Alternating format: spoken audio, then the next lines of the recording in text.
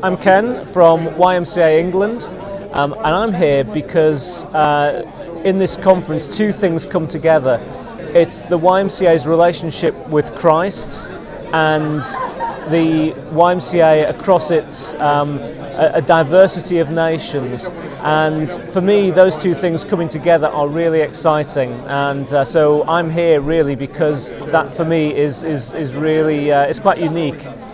Now, what I want from this conference, um, in my role, I'm, uh, I have a uh, national leadership role around Christian spiritual development, and I'm just really interested to hear how Christ is expressed and experienced um, in YMCAs across Europe. Um, it's quite diverse across England. I'm expecting even greater diversity uh, over this weekend. So, uh, really excited to hear what, what people's experience is of that in their YMCAs, in their countries, that, uh, that we can learn together.